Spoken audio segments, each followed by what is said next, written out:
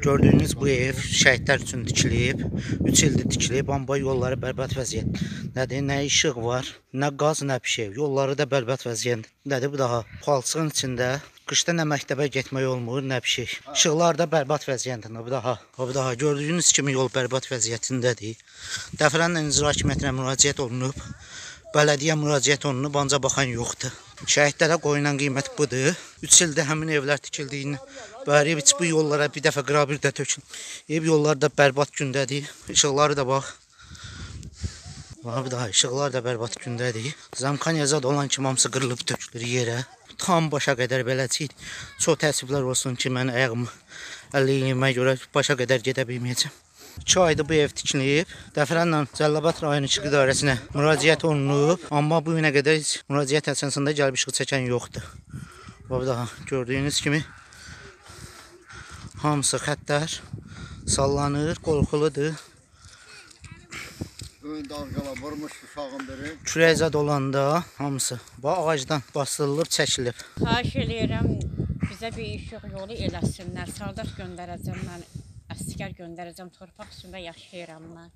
Mənim işığım yoxdur, vəziyyətim ağırdır. Xahiş eləyirəm ki, üçüncü aya keçib mən işıqsız qalmışam. Mənim işləyənim zadım yoxdur, vəziyyətim ağırdır. Xahiş eləyirəm ki, bizə bir işıq yolu köməkli eləsinlər. Cəlilabad rayonu Zavatxan küçəsində qızım üçün 2 il yardım vermişəm işıq idarəsinə. Bir şovçet qoydurub bir işıq çəkdirə bilmirəm. Şilətərə 3 küçə, 4 küçə o tərəfdən işıq gətirmişəm. Qızım üçün 4 uşağına qızım qalıb kümədə ona bir işıq çəkdirə bilmirəm. Dəfələrlə müraciət eləmişəm, heç kim bizim müraciətimizə baxmır. Cəlilabad rayonunda işıq idarəsindən yol idarəsinə heç kəs baxmır. Nə qağaz var, nə işıq var, heç nə yoxdur. Millət elə belə də öz yüzünə yaşayır küçələrdə. Cəlilabad rayon icra başçısı Namik Zeynalova məktub yazmışam. Həmin məktub 3 dənə əsasında olub. Mansur müəllim icra başçının birinci müavini Mansura verilib.